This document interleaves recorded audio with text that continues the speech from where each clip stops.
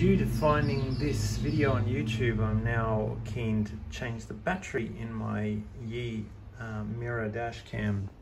I managed to pop it open, even though this guy doesn't tell us how to open it.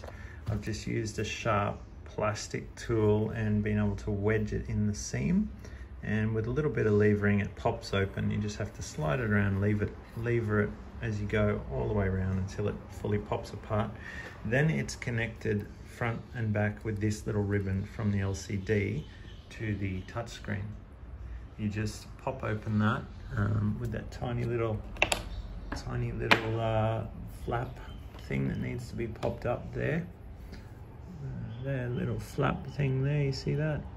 Pop that up and slide the ribbon out. And now I will remove the four screws holding the screen in and get it out of the way. Um, they're tiny little uh, Phillips head screws. And then once that is out of the way, I will be able to look at it like he is here. And as we can already see, the battery is exposed. Okay, and when we lift up the screen, we see several cable connections underneath. Just that one there. So I'm gonna have to have a closer look at that by the look of the video, it's mainly just the wide one down the bottom. That one there in the middle of the screen that I'm going to have to disconnect.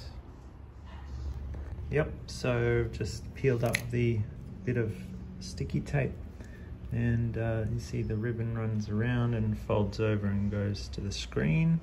You just need to stick a pry thingy underneath this and pop up this black flap and then slide that out.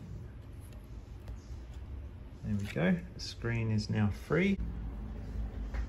And uh, another thing he doesn't show in the video is, well, he kind of shows, but not really clearly. We're just going to cut the white wire off and put some tape over it or something.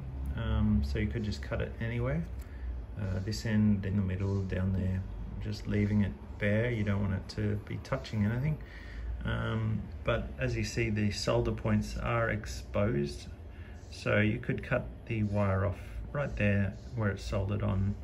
The other two, you I'm gonna get the soldering iron and uh, heat those solder points up and unsolder them and then solder on the new points from my battery. My battery's a bit bigger than the one on there.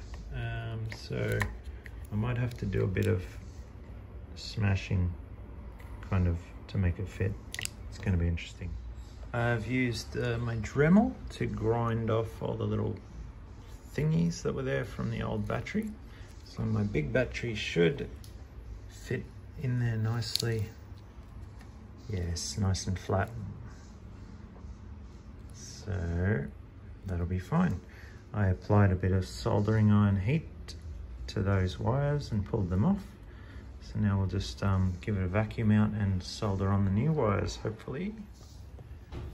So if you haven't done this kind of soldering before, I've just successfully done the red wire. Um, so what I've done is, this is my first time doing this too, so I'm not a pro, but I've put a little bit of solder, bit of heat on the bare end of the wire that I've stripped. And then put a little bit of solder on the wire like that so that is now prepped. So now I'm going to hold this tip of the wire on the solder patch. I'm saying solder because that's how the Americans pronounce it. In Australia we say solder so I'm holding the wire on the solder and I'm going to heat it up with the tip of the wire pressing on top of it and melt them together. And that's it. Simple. You didn't need me to show you how to do that, did you? So that's it. I'm just going to um, try to neatly package it all together. Stick a bit of um, glue or something under the battery put it all back together. Now I've put it back together and it's running. No problems, saying full battery. It's not plugged in, usually it's in the car I pulled off that uh, sticker because I thought there might be screws under there. So I'll just put that on there and it's not very sticky anymore. Might have to put some new glue under there. But anyway, it would usually die immediately when I turn off the key in the car, about maybe two seconds after turning the car key off, it'd flash red battery symbol, no battery and turn off. So that's because that garbage little battery was dead, I guess. Now we've got a brand new 1000 milliamp hour battery.